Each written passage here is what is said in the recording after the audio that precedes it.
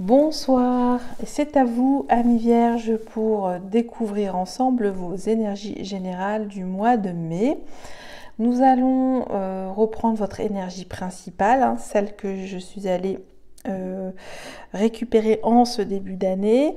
Et donc celle-ci pourra donc euh, vous donner une tendance énergétique, vous, vous traverser, vous donner une certaine forme de gouvernance, un, vibrato, euh, une nuance, une coloration sur vos énergies de votre mois. Puis je continue avec d'autres messages complémentaires sur vos vibrations spirituelles. Et après, j'entame la deuxième partie et ça sera donc une guidance relationnelle, à savoir où vous en êtes vous et votre autre dans la relation. Alors vous et votre autre, aussi vous et vous-même dans votre propre histoire d'amour. Et là, on va rester dans une forme classique de relation où un lien euh, est créé, ou la personne que vous avez peut-être dans le cœur ou euh, celle qui est déjà construite. Et enfin, je termine par un dernier message. Alors, bah, c'est parti. Je vais donc vous faire découvrir l'énergie de votre mois. C'est la mère universelle. La mère universelle, c'est l'équivalent au tarot de Marseille à l'impératrice. L'impératrice euh, signifie euh, intelligence, créativité, euh, spontanéité, excellente énergie naturelle, esprit clairvoyant, créatif, euh, bonheur, fertile. Elle peut vous donner cette envie de vous accomplir par l'action pour aboutir aussi à toutes vos idées euh, riches et fécondes. Il y a euh, beaucoup de charme, de distinction et d'intelligence. Donc tout ça pour vous dire, amis vierge, que c'est bon sur tous les niveaux, euh, affectif, matériel, professionnel, santé, spirituel. C'est Vénus. Hein. L'impératrice est symbolisée par Vénus. C'est la fertilité pour vous, pour ce mois de mai. Donc imbibez-vous, imprégnez-vous de cette énergie, reprenez aussi votre pouvoir créateur, j'entends, pour certains d'entre vous, amis vierges, vous avez cette faculté à euh, toujours euh, trouver euh, des ressources intarissables de créativité, j'entends aussi. On va aller voir donc dans le Vision Quest Tarot la manifestation intérieure. J'ai préparé avec moi le petit fascicule et il est mis donc grande force créatrice, euh, force de féminité avancée, sagesse, sympathie profonde, bon cœur, amour, protection, compréhension, se sentir en sécurité. Voici le message intérieur. La bonté véritable est toujours un cadeau du ciel.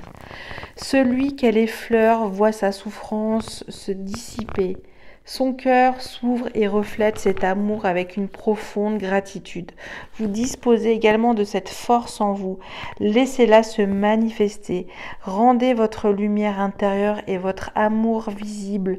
Ouvrez-vous à la source de votre force féminine. L'heure de la femme est venue. Et Vénus. Mhm petit jeu de mots. Il est temps de montrer votre propre féminité, votre propre femme, votre être, et de lui accorder le respect et l'amour dont elle est digne. Si, vous ne montrez pas de tendresse envers vous-même, qui alors croyez-vous le fera pour vous? Si vous, ne si vous ne vous assumez pas purement et simplement vous-même, de qui donc l'attendez-vous? Tournez-vous vers votre propre femme, votre vraie nature en vous, homme ou femme. Tournez-vous à présent vers la force de votre femme intérieure. Donc c'est la polarité féminine qui est mise en avant, euh, espèce de grande émotion créatrice aussi pour vous. Alors, je continue avec d'autres messages. Et c'est parti. On va voir ce qui vient à vous et le conseil.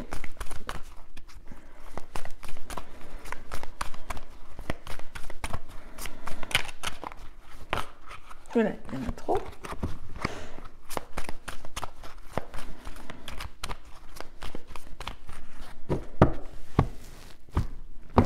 Alors, On va voir. J'ai victoire et succès.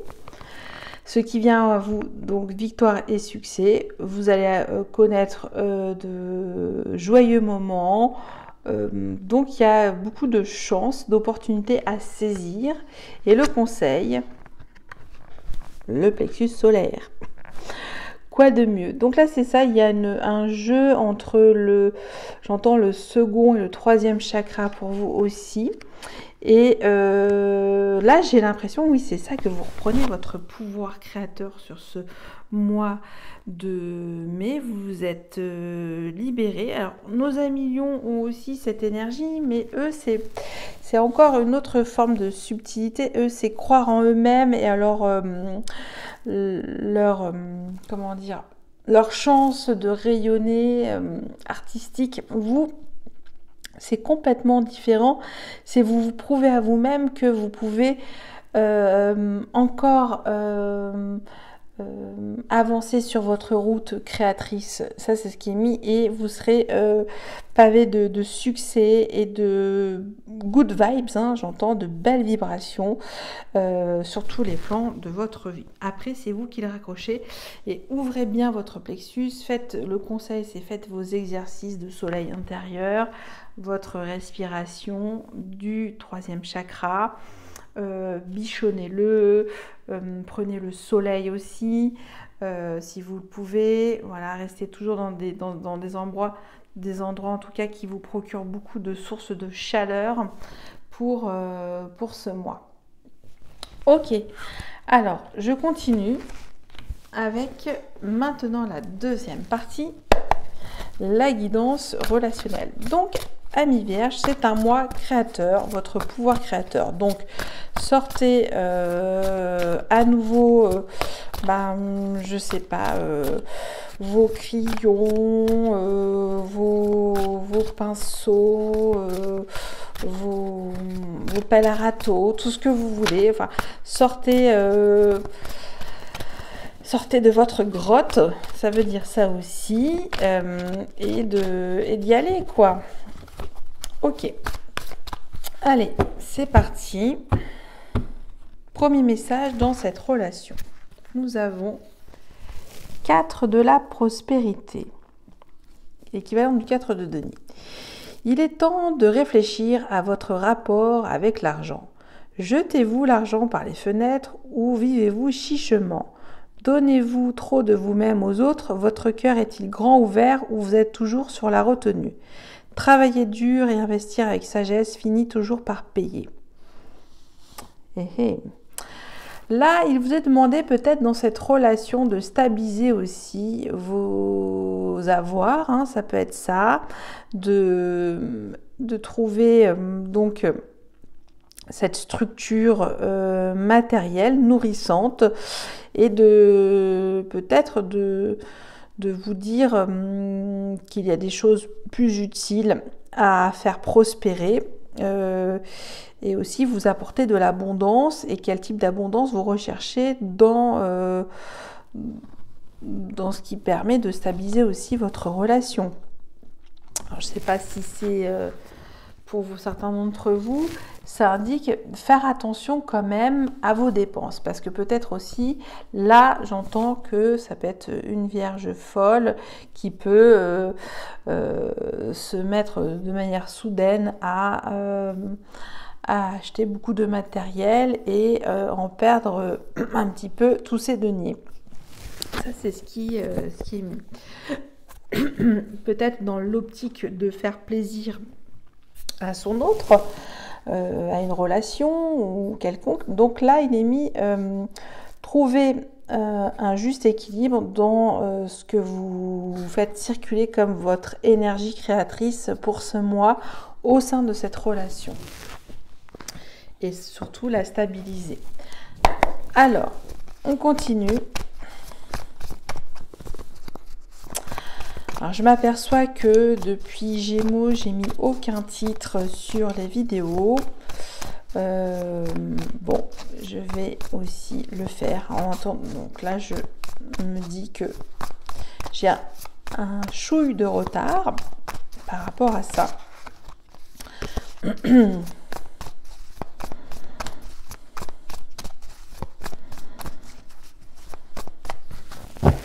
Allez, on va voir cette guidance relationnelle pour vous. Signe ascendant solaire, signe solaire, ascendant et lunaire. C'est pour ça que euh, je vais un peu vite, pardon. Votre état d'esprit dans la relation, si c'est vous, ami vierge, l'état d'esprit de votre autre dans cette relation. Je me reconcentre. Votre besoin dans cette relation, en tout cas ce qui euh, a fait que la relation euh. Hein. D'où vous venez. L'intention de votre autre. Hein dans cette relation, où en est aujourd'hui la relation, le frein, l'obstacle à cette relation, l'outil, l'aide, le levier, ce qui permet de la libérer, et enfin l'issue de cette relation, cette fin de mois. Et on va prendre un message. Roi de Pentacle. Là, il est mis comme énergie dans cette relation de vous organiser, de pouvoir euh, jouir au mieux euh, de votre vie de, tous les jours. Euh, ça met aussi qu'il y a une bonne gestion au sein de cette relation, beaucoup de joie, de bonheur, de partage.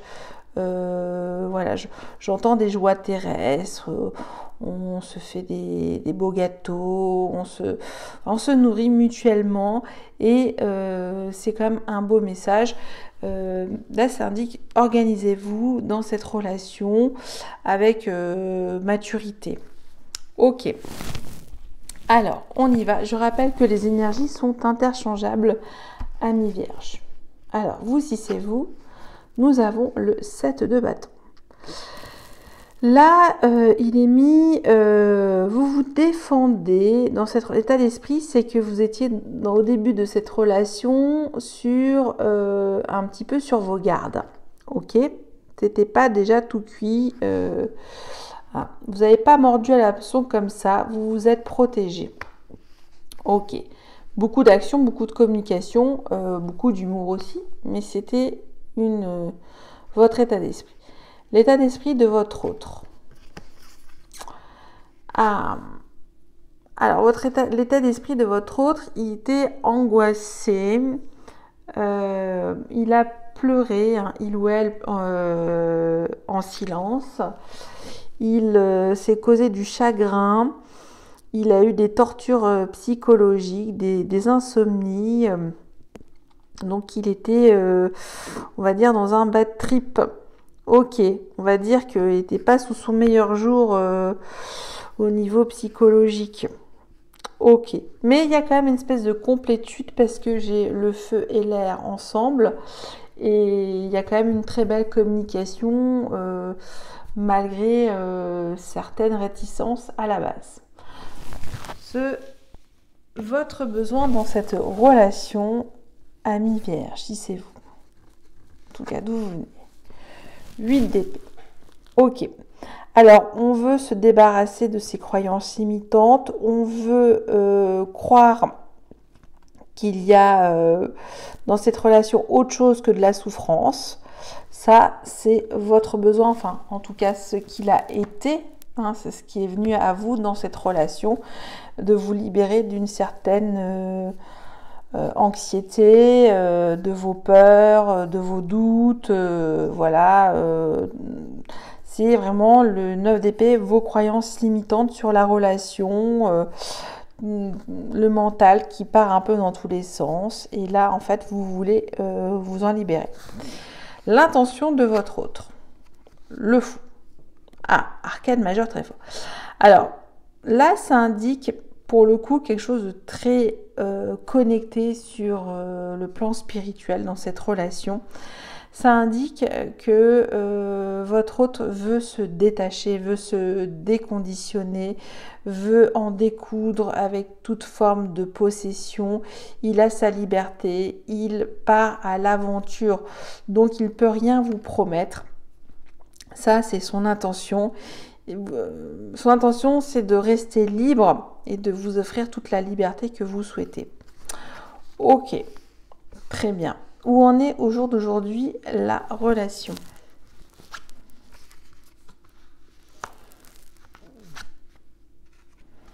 Ça continue. Ça continue. Là, j'entends euh, pour vous, amis vierge, un signe de feu ou un signe d'air. Ok. Euh, j'ai pas de datation. Hmm. J'ai pas de datation sur cette relation, je vois pas pour le moment. Alors, cavalier de bâton, valet d'épée. Il y a de votre part, si c'est vous, ami vierge, cette envie de passer à l'action, cette envie de fulgurance, de vivre votre passion dans cette relation, d'aller à l'aventure, de voilà, de, pouvoir euh, démontrer votre ferveur d'amour, vos vibrations d'amour à votre autre. Et le valet d'épée, c'est toujours quelque chose de très réservé, de très psychologique, de très mental, de très scénarisé. Euh, c'est un balbutiement. Je, c'est le valet d'épée, c'est euh, une énergie jeune qui veut se former, apprendre, d'abord euh, connaître, une espèce de d'initiation aussi, pour, pour mieux comprendre aussi la relation. Donc, il y avait peut-être plus de de votre part, si c'est vous, ami vierge, d'entrain, de oui, côté assez hum, trépidant, fulgurant. Et le valet d'épée, c'est euh, ok, j'arrive euh, tout doucement euh, pour découvrir cette relation. Mais ça, ça match, il y a une bonne communication pour le coup. Parce que vous avez quand même des complétudes, vous avez peut-être aussi un schéma de vie assez identique, peut-être beaucoup de doutes, de manque de confiance, et ça se rejoint à un moment donné puisque vous vous êtes porté par l'esprit. Ok. Il y a très peu de... Là, je vois pas le côté euh, charnel. Et pourtant, on a en dos deck du pentacle. On va voir ce qui bloque, ce qui entrave cette relation.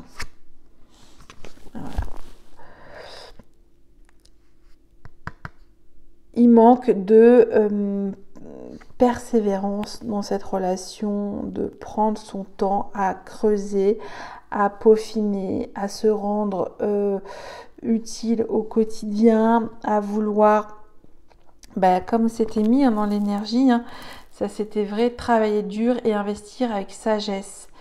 C'est peut-être ça qui manque puisque c'est une, relation très connectée, j'entends, et ça manque de régularité aussi avec le fou. Ok, bon. Alors, on parle aussi dans cette relation, euh, c'est pour ça qu'on avait la mère universelle, hein, la terre, mère divine Gaïa, d'ancrage, de créativité, tout ça, ça peut être aussi des pistes dans cette relation euh, et de et d'aller chercher et de pouvoir euh, obtenir ce succès relationnel. Il est possible, il est possible, puisque là c'est d'où vous venez. Et là, il y a il y a encore matière à, oui, à s'investir comme c'est mis et à, vouloir persévérer. Hein. Et euh, là, j'entends faire preuve d'opiniâtreté et c'est ce qui a manqué. On va voir l'outil l'aide à cette relation. Toujours des pentacles, hein. c'est bien ce que j'ai me semblait à vous organiser aussi et à trouver un équilibre, donner et recevoir, le recevoir et le donner. Euh, trouver euh, un juste milieu dans vos énergies, d'échanger de ce rapport à la matière, comment euh, l'apprivoiser entre vous. Ok? Alors la matière, c'est-à-dire comment mettre en place euh, des, actions concrètes, euh, euh, tangibles. Alors ça peut être n'importe quoi, ça c'est vous qui le voyez, mais ça peut être ça. Donc peut-être pourquoi pas peindre ensemble, mettre les deux mains dans la terre, ça peut être ça aussi. Faire du jardinage ensemble. Ça peut être ça et trouver, bah, moi je mets les graines, toi tu arroses à terre. Ça peut être un petit. C'est un début, mais c'est des exemples, mais ça peut être ça, j'entends. L'issue de cette relation en cette fin de mois. Nous avons le 4 de bâton. Alors l'issue est assez belle parce que il est dit de fêter, célébrer euh, cet amour. Alors euh, pour moi j'entends c'est un amour pour le moment fraternel. Hein. il y a très peu de, j'ai pas vu de coupe dans cette relation. J'ai vu comme un, double, euh, comme quelqu'un qui est là pour vous épauler, vous soutenir, euh, dans cette relation. Pour moi, c'est une relation qui reste, euh, oui, fraternelle, amicale. Euh, le côté sentimental peut-être existe-t-il, mais il est en tout cas platonique. Il y a quelque chose de très connecté, mais il vous manque cet ancrage en fait, je crois, pour aboutir à quelque chose de plus concret dans cette relation. Mais il dit que c'est une magnifique relation que vous allez la fêter, la célébrer, l'honorer. 21, 12, quand je vous dis ça, c'est marrant. Eh ben, écoutez, je vais euh, peut-être la recouvrir. On va voir 9 euh, dp, 8 dp. Et ben, c'est tout, hein, on va voir.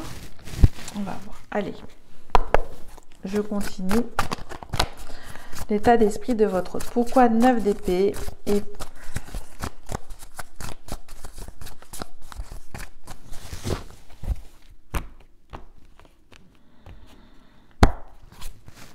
et 8 d'épée. En comprendre un petit peu plus et avoir des informations sur ces énergies. 3 de pièces, 3 de deniers, et oui, une espèce de d'angoisse à tout gérer dans sa vie, de, de copartager. Euh, ce, oui, des. Là, j'entends, c'est un, copartage angoissant. Voilà. Où je mets de la tête. Est-ce que je privilégie ma vie euh, professionnelle, euh, familiale euh, Voilà, il y, a tout ça en ligne de compte, ou ma vie sociale aussi. Hein. Donc c'est comment je, je, partage tout ça dans ma vie, et il y a cette forme d'angoisse. Et vous, votre, votre besoin avec reine d'élixir. Et oui, vous voulez euh, un amour, euh, un amour euh, émotionnel, quelque chose où les sentiments, où le cœur vibre dans cette relation. Hein. On a la reine d'élixir, c'est la reine de coupe. Donc, beaucoup de. un besoin d'envelopper la relation, de mettre des mots d'amour aussi. Ça, c'est votre besoin. Et avec le fou, bah, c'est l'artiste celui qui est libéré des conditionnels, qui pourra vous donner euh, cette, euh, cette énergie d'amour, euh, mais il n'y a rien en retour, il n'y a pas d'attente, c'est très décomplexé aussi.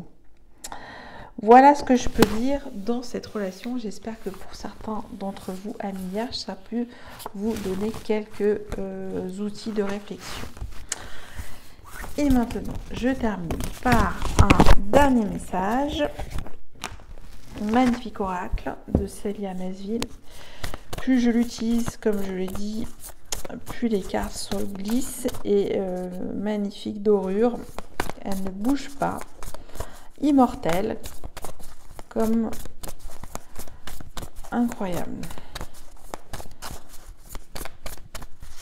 Allez, un dernier message pour vous. Et nous avons Hathor, la mère nourricière. Donc, on a eu la terre-mère universelle, donc c'est quelque chose de très porteur au niveau de votre créativité. Faites confiance à votre créativité, ami vierge. Je suis la mère universelle qui nourrit et protège ses enfants. Ferme les yeux et ressens cet amour infini et inconditionnel que je te porte. Voilà, une Vierge, pour vous, pour ce dernier message. J'en ai fini avec vous et je vous remercie. Si vous avez euh, envie de laisser des commentaires, vous pouvez. Je commence tout doucement à stimuler la communauté. Je vous expliquerai pourquoi plus tard. Je prends mon temps et euh, bah, je vous dis un grand merci et passez un excellent mois de mai. À bientôt. Merci. Bye bye.